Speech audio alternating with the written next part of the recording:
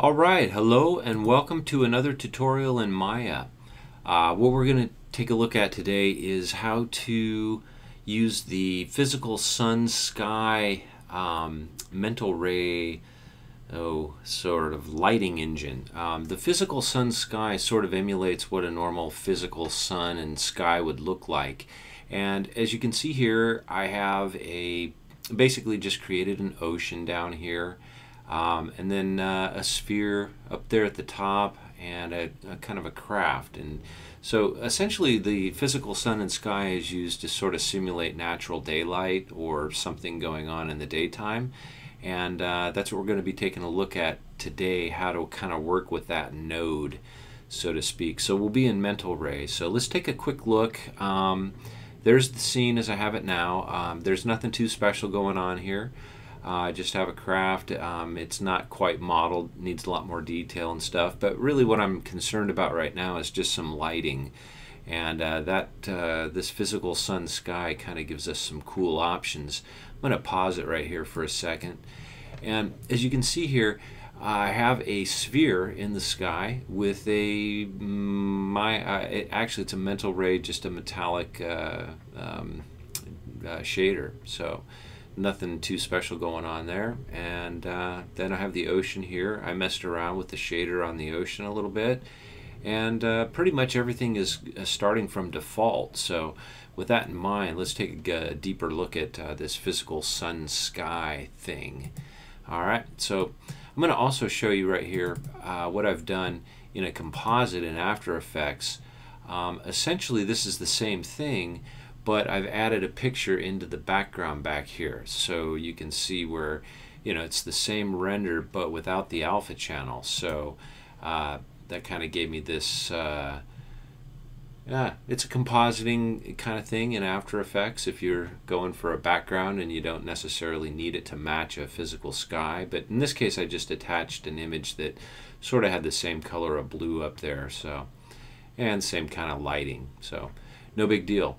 All right, let's take a quicker look at that. Uh, let's take a look at that. Here's where I am in the scene so far, and this is what it looks like in Maya. Um, let's just go ahead and um, let's go ahead and create a new scene. So I'm just going to go to File. I'll just uh, do a new scene, and I don't need to save those changes. So right here, let's just get started. Make sure you're in your rendering menu set, and um, actually come over here to uh, not your rendering but dynamics. Um, let's go to dynamics and let's go to our fluid effects and just sort of start with an ocean and we'll create that ocean. And there it is. And why don't we just while we're at it just scale it up a bit. I'm gonna bring it up to kind of like there. And we'll go ahead and create a uh, let's create a sphere to work with just to kind of begin with. I'll go ahead and put the shaded mode on there and let's bring it up a little bit. Okay, so now we have a sphere and we have an ocean. And let's take a little tool around that scene, maybe see what we got. And before we get started, let's set this to about 300 keyframes, or I mean 300 frames. And um, we'll just take a look at what it looks like on, on default. So there it is. Let's take a quick render.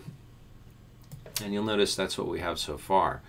Okay, well, right now I'm in Maya software, and what I really want to be in when we're doing the physical sun sky stuff is you want to be in Mental Ray. So go ahead and switch over to Mental Ray, and um, you know maybe pull up your render settings, and let's take a look at our render settings. Now, the first thing to do to get started with using this uh, physical sun sky is to come over here into your indirect lighting tab right away, and so I'll click in there it's going to open up and it's going to offer me a couple of different options. And right now what we're interested in is physical sun and sky. So I'm going to go ahead and just hit create.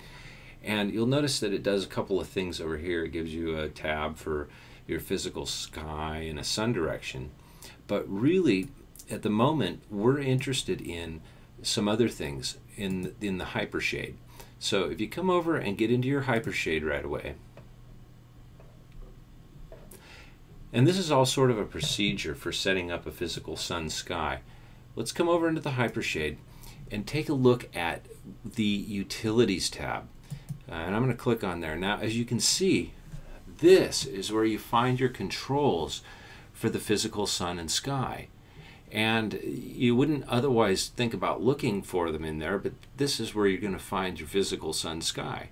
So right away, um, let's take a render just because we've assigned it a physical sun sky. I'm going to move this out of the way. I'm going to close my render settings for the moment. And my render view, I think I'll leave here. And I'm going to go ahead and hit render. And we're going to see what just the default looks like. And that looks kind of ugly. I mean, now this is a starting point, okay? So roughly you can see where it's it's replaced a physical sky. There's kind of a background in there.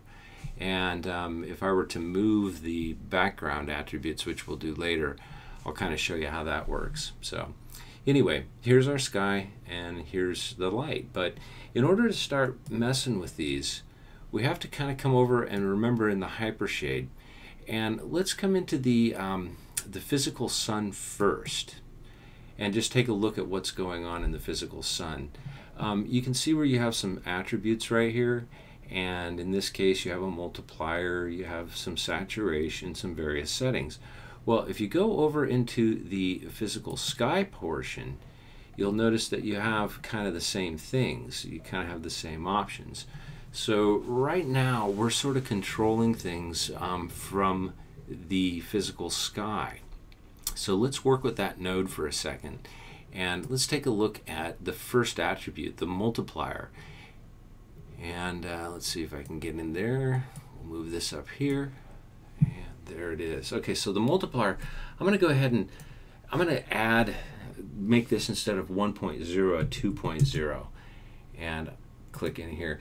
Now, one of the things you'll see me doing a lot during this demonstration is that I have to click inside one of these other boxes because there's a bug in Maya which absolutely drives me nuts.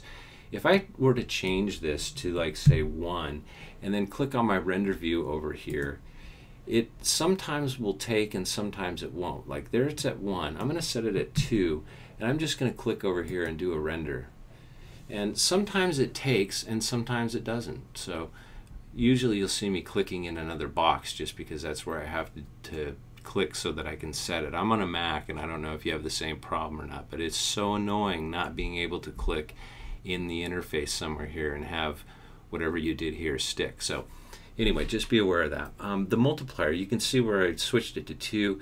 It's getting really bright. So let's switch that back down to like 0.250 and let's see what happens.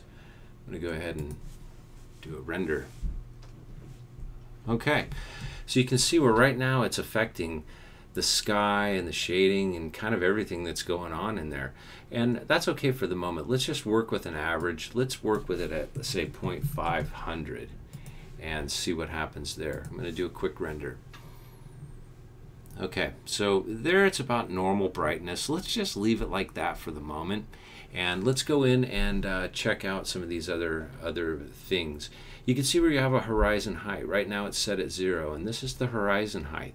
What if I were to set the horizon height to, um, let's see, let's set it to like two. Let's see what happens. I'll do a quick render. Okay, now you can see the horizon is actually way up here, which is not where we want it. So we'll go ahead and set this horizon height back down to zero.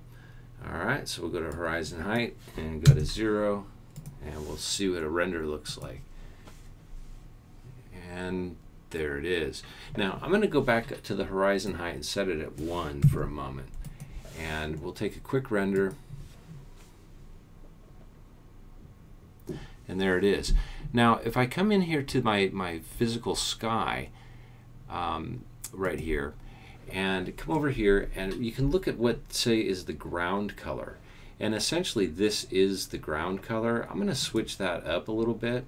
We'll switch it to say something more in the yellow so we can see what it's doing. And I'll do a quick uh, do a quick render. As you can see that's what your ground color is affecting. So you know essentially in this case that's a little too bright. I might want to just go ahead and bring that down a little bit maybe in color and uh, we'll we'll work with it for we'll work with it right there for the moment. or I could have it match my ocean, which is probably more so what I should do. So I'll come in here and, and sort of just, you know, try and find a color that kind of matches what the ocean is. And we'll do another render. And there you go. And let's set this horizon height back down to like say negative one. All right, I'm going to set it to negative one and hopefully we'll get something that looks a little more natural. So we kind of got rid of the horizon. We replaced it even if it shows up with this uh, color of ground. So anyway, that's what that's all about. Now, um, the night color just is going to affect um, the color if you have um, your light moving from side to side um, and like at the end of the day if you want to see a little bit more color and what that lighting is you would bring that up. So essentially all these things are just what they mean. Um, the sun disk intensity and scale are if you actually see the sunlight in here you can sort of mess around with its intensity and its the disk scale meaning how, how large it is. So that's just something to be aware of for now. But in this case that's kind of what those are about. Now, let's take a look at these R, uh, the RGB conversions. If you bring one of these up, like let's say we brought it up in the blue quite a bit, I'll just bring it up a little bit and let's take a quick render. And as you can see, that really messes with it. It could be good for effects, but for the um, time being, we kind of want to stay at our default point, uh, what is it, uh, 0 0.000100. So Anyway, that should put us back to normal. And there you go. Okay, so the physical sun sky, uh, you know, it, you have to mess around with it quite a bit. There's not a lot going on in there. Um, you can come in here and look at your, your uh, sun samples. And also, um, let's take a look at the exposure right here. You can see where my exposure, it just gives me a simple node right here that lets me step up the pedestal or the gain or the knee. Uh, you can play around with those at your own on your own time here, but I'll just do a quick gain adjustment. We'll go pull it up in its gain, which is going to give us a, kind of a, a heavier, brighter, much brighter picture. And I'm going to bring that gain down quite a bit, and we'll do see what happens there.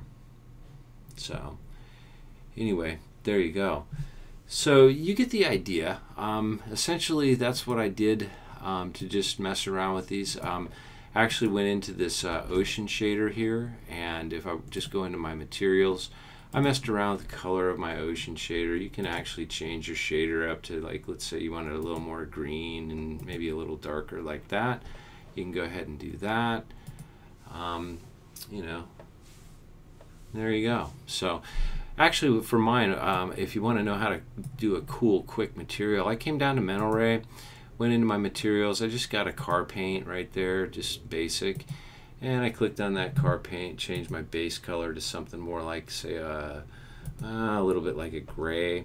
Then I took the lit color and changed that to something more like a like a, a bright blue.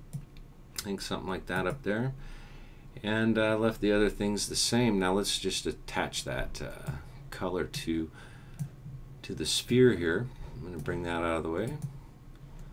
Go in here, we'll attach that to the sphere. Sign existing material, car paint, and there you go. So let's take a quick render and see what we got. a lot of times the car paint will just give you a, a nice, you know, kind of um, yeah, it'll just give you like a metallic kind of uh, reflective surface there. And remember, you're going to have to go in and adjust a lot of things when you're working with this physical sun sky. But essentially, once you have it set up, um, everything works pretty good.